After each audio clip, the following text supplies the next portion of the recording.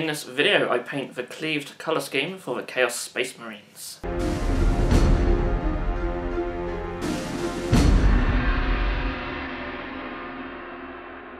Hello Bits Brewed, it's Craig from bitzbox.co.uk here, and in this video I'm going to be painting up the cleaved colour scheme for the Chaos Space Marine Renegade Legion.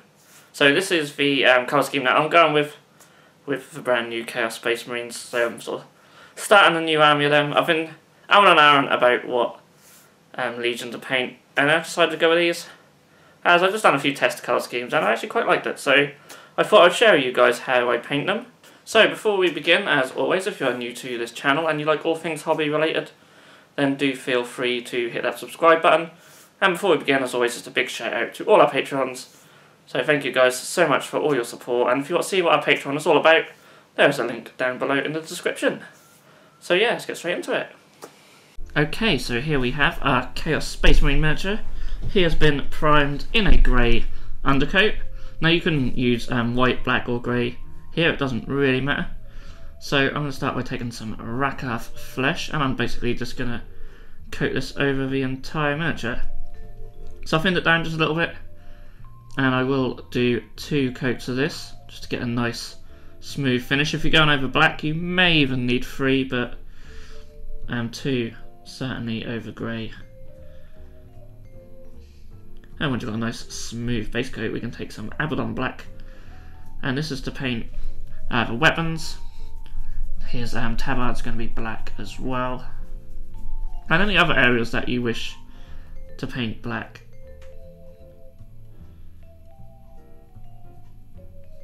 And I do only just do one coat of this.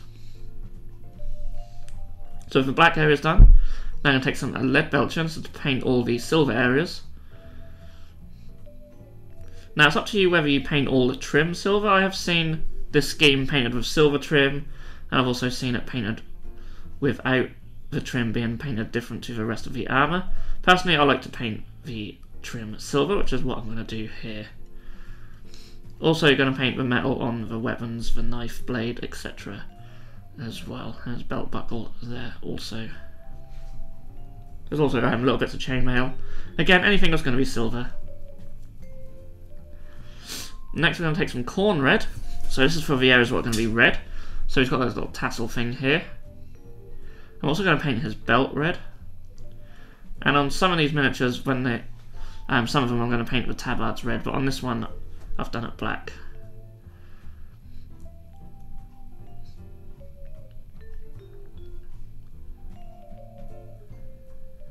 So with all these areas now done, I'm going to take some Agrax Earthshade and I'm going to cover the whole of the miniature with some Agrax Earthshade here. This will really bring out all the detail, put some nice shadows in all those recesses. It'll also darken the armour a little bit, but we can lighten that back up in the next step. You could also use Chaos Black in this stage, if you want um, darker and deeper recesses. It'll also give you a cleaner look to the metal. But once that's dry, you can see it's really brought out all the detail. So now we're going to come back with our Rakarth flesh and we're going to paint all these armor panels again. But this time being more selective, so we keep the darker and washed Rakarth flesh in all the recesses. And I thinned it out here, just to give myself more control, and you may need two coats here. So this is probably the most time consuming step of painting these miniatures, but the end result is certainly well worth it.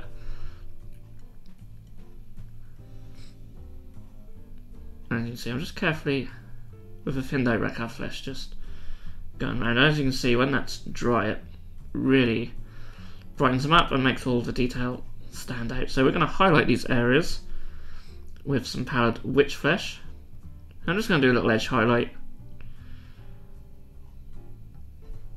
Any little little edges. There's not many really because the trim takes up a lot of the edges. But you can see there's some on the feet here. Of course, if you were to paint the trim the same colour as the armour, then you would go around and edge highlight all that in this stage instead.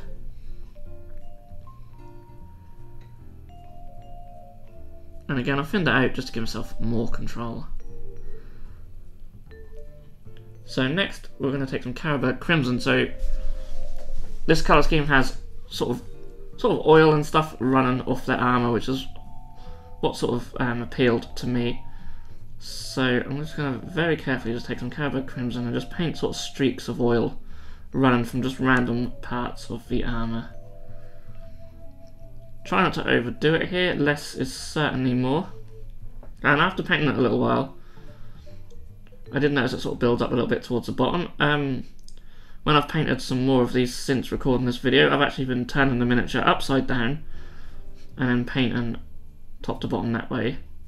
So that that means when it pulls up on the miniature, it pulls up at the top rather than the bottom, and that looks a little bit better. And um, you'll see what I mean if you do this yourself. So we're going to do the same with Athonian Camoshade here. Just to add a little bit more variety of colour.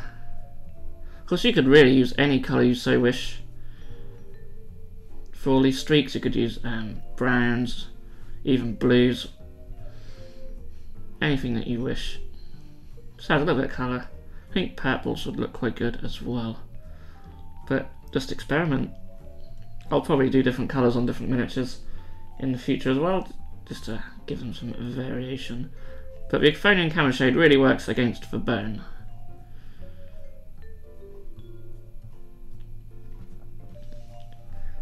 So, with the armour done, it's just a case of highlighting the other areas. So we're going to take some Runefang Steel just to highlight all the silver areas. And again I'm just running an edge highlight. Just down these teeth blades and around the trim. So again this is another sort of lengthy step but the end result's certainly well worth it. And it'll brighten up these metal areas a little bit it's up to you if you don't want them to be too bright you could come in with a darker silver to highlight but I quite like using the brighter ones. Next we're going to highlight the red areas with Evil Sunz Scarlet. So this will really bring out the detail on this tassel here, just hitting all the higher points. I also use this colour to paint the eyes. If I was putting a little bit more effort into these, I would go with Khorne Red and then highlight with the Evil Sunz Scarlet, but as I'm just going for tabletop standard here, just straight Evil Sunz in the eyes is all you need. And lastly we're going to take some Eshin Grey just to highlight all the black areas.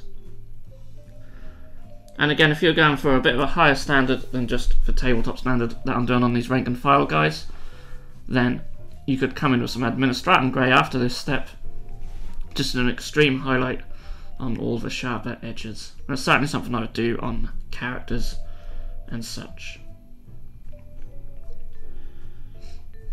And with that, he is complete. So pretty quick and easy really to paint. The um, Rakarth flesh steps do take a little bit longer.